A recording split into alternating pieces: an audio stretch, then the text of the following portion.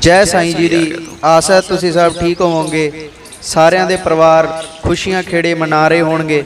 ਬਾਪੂ ਬ੍ਰਹਮਜੋਗੀ ਮਹਾਰਾਜ ਜੀ ਦੇ ਦਰਬਾਰ ਦੇ ਉੱਪਰ ਆਏ ਅੱਜ।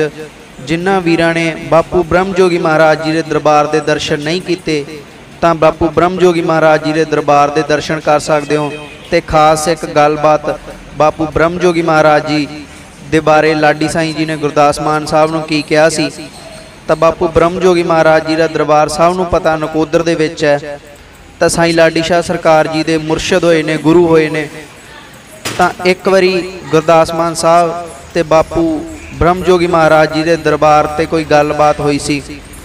ਤਾਂ ਹੋਇਆ ਕਿ ਸਾਈ ਲਾਡੀ ਸ਼ਾਹ ਸਰਕਾਰ ਜੀ ਕੋਲ ਗੁਰਦਾਸ ਮਾਨ ਸਾਹਿਬ ਗਏ। ਤਾਂ ਗੁਰਦਾਸ ਮਾਨ ਸਾਹਿਬ ਨੂੰ ਸਾਈ ਲਾਡੀ ਸ਼ਾਹ ਸਰਕਾਰ ਜੀ ਨੇ ਇੱਕ ਹੀ ਗੱਲ ਕਹੀ ਸੀ ਕਿ ਗੁਰਦਾਸ ਜਦੋਂ ਸਾਡੇ ਹੱਥ ਖੜੇ ਹੋ ਜਾਣ ਨਾ ਤਾਂ ਇਸ ਦਰਬਾਰ ਤੇ ਆ ਕੇ ਮੰਗ ਲਈ।